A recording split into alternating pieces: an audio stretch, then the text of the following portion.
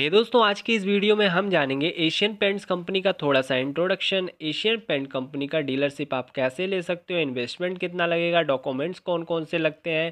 Contact कैसे करोगे? Company से सारी डिटेल स्टेप बाय स्टेप जानेंगे दोस्तों। वीडियो को पूरा लास्ट तक ज़रूर देखिएगा।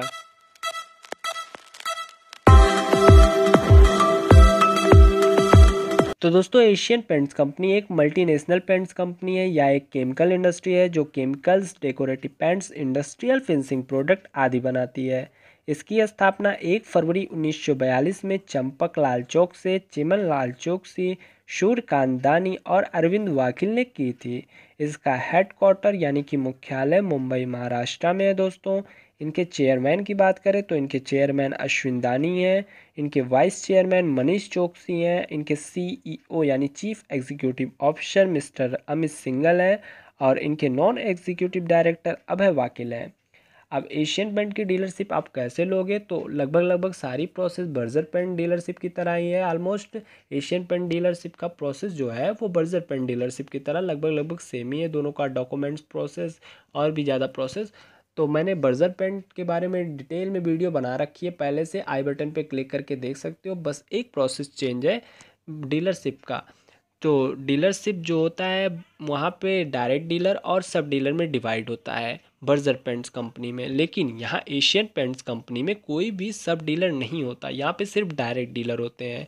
तो इतना अंतर है। वैसे सारी डिटेल में हमने वीडियो बना रखी है। सारा प्रोसेस सेम है। जाके आई बटन पे क्लिक करके डिटेल में वीडियो देख सकते हो। अब आपके मन में सवाल आएगा कि एशियन पेंट की डीलरशिप लेने के लिए आवेदन कैसे करें? तो मैं पहले ही बता देता हूँ, इसके लिए कोई ऑनलाइन आवेदन नहीं होता है दोस्तों। इसके लिए आपको कांटेक्ट करना पड़ेगा अपने एरिया सेल्स ऑफिसर से। अब एरिया सेल्स ऑफिसर से कांटेक्ट कैसे करोगे? सबसे पहले कस्टमर केयर नंबर जो आपकी स्क्रीन पे दिखाई दे रहा है, इस पर कॉल करोगे। वह आपसे बता देगा कि भाई आपके एरिया सेल्स मैनेजर ये हैं, ये आपसे कांटेक्ट करेंगे या फिर आपको उनका कांटेक्ट नंबर दे देगा एरिया सेल्स मैनेजर का आपके एरिया के तो आप उनको कॉल करके एरिया सेल्स मैनेजर को एरिया सेल्स ऑफिसर को कॉल करके बताओ कि भाई हम यहाँ पे हमारी लोकेशन है, हम डीलरशिप लेना चाहते हैं तो एरिया सेल्स मैनेजर जो होगा एरिया सेल्स ऑफिसर जो होगा वहाँ का आपकी एरिया का वो आपके यहाँ विज़िट करेगा।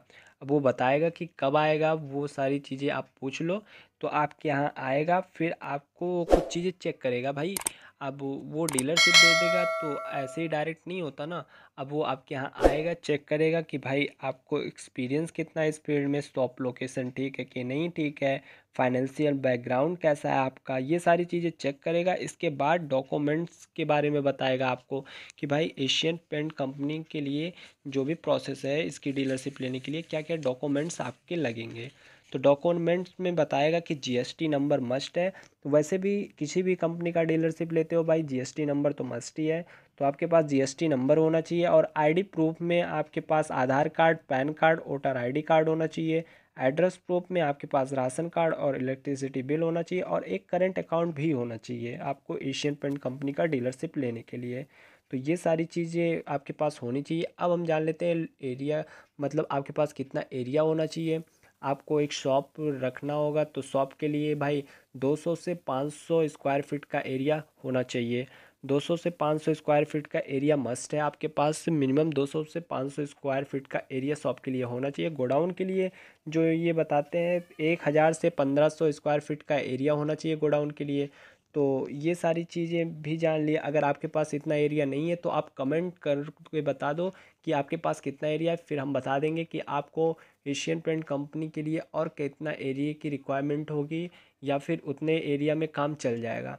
सारी चीज़ें मैं स्टेप बाय स्टेप बता दूँगा, कमेंट कर देना दोस्तों। अब हम जान लेते हैं इन्वेस्टमेंट के बारे में। तो इन्वेस्टमेंट के बारे में जान लेते हैं, क्योंकि हमने तो डॉक्यूमेंट्स के बारे में जान लिया, एरिया के बारे में जान लिया, कितना एरिया रिक्वायरमेंट होगा। अब हम जान लेते हैं इन्वेस्टमेंट के बारे में। तो कंपनी को आपको इनिशियल स्टॉक के तौर पे मतलब आपको जो इनिशियल स्टॉक जो भी शुरुआती जो भी सामान है आपकी दुकान में रखना होगा तो उसके लिए साढ़े तीन से साढ़े पाँच लाख रुपए आपको देना पड़ेगा। लगभग लगभग सारी जीएसटी इसमें इंक्लूड रहेगी। तो इतने आपकी इनिशियल स्टॉक है। अब आपको कलर मिक्सिंग मशीन लेना होगा, जो बर्जर पेंट कंपनी में थोड़ा सस्ता था। यहाँ पे आपको डेढ़ से दो लाख रुपए मशीन के लिए देने पड़ेंगे। मशीन की वैरायटी भी है क्वालिटी भी है, इसलिए आपसे पैसे लिए जा रहे हैं इतना। तो मशीन आपको कई तरह के दिखाए जाएँगे ऑटोमेटिक सेमी ऑटोमेटिक मैनुअल कई तरह की मशीनें दिखाई जाएँगी। यहाँ पे भी जायरो शेकर वगैरह मिलेगा सब कुछ। जो भी चीज़ें हैं, सारी डिटेल में मैंने बर्जर पेंट कंपनी के बारे में बता रखा है, इसलिए डिटेल में इनके बारे में नहीं बता रहा हूँ, बस बता दे रहा हूँ क्या क्या प्रोसेस होता है। तो अब आपके पास जो शॉप इंटीरियर अगर आपका रेडी है मतलब आपके पास खुद की शॉप है तो रेंट से भी छुट्टी मिल सकती है, आपके यहाँ पैसे बच सकते हैं। अगर आपका शॉप इंटीरियर पहले से है, काउंटर वगैरह पहले से है, रैक वगैरह पहले से लगा है तो यहाँ भी एक से डेढ़ लाख रुपये बच सकते हैं।